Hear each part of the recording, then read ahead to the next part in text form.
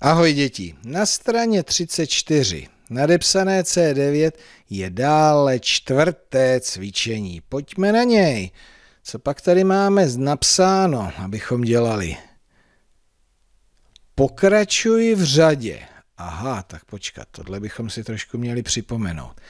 Tak tady máme kousek řady a máme tady pokračovat. 0, 2, 4 jak mám pokračovat? Jo, hele, 0 plus 2 rovná se 2 plus 2. Jo, tak tohle to je řada, kdy se popos, poskakuje po dvou. Takže jak dál? Plus 2 rovná se 6, plus 2 rovná se 8, plus 2 rovná se 10 a ještě dvě k tomu 12 a 14 a kolik? 16 18 a ještě dvě 20. Je to tak? Hele, tady svítím zeleně, no a to, co svítí červeně, to čeká na vás. Takže vy musíte nejdřív podle toho začátku zjistit, co se tam asi bude dít v té řadě, no a potom doplníte celou tu řadu. Tak prosím, dejte se do práce, přerušte video.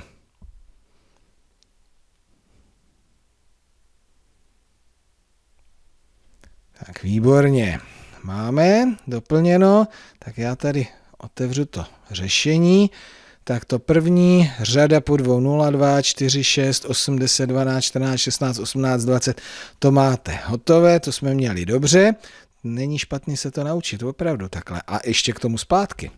No a jak to bylo tady? 0, 3, 6, tam jste přišli na to, že se přičítá trojka, takže dál 9, 12, 15, 18. Někdo by to uměl ještě dál, třeba až do 30, no zkuste to, kdo jste trošku schopný počtář. Co se dělo tady? 2016, pozor, takže spíš odčítat a po čtyřech. Mhm. Takže minus 4, 12, minus 4, 8, minus 4, 4 a 0. 20, 16, 12, 8, 4, 0 a na 0, 4, 8, 12, 16, 20. No, kdyby jsme šli nahoru, jak by to pokračovalo. Tak a co je tady?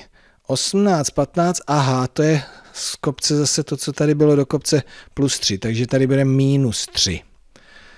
Minus 3, 12, minus 3, 9, minus 3, 6, minus 3, 3 a 0.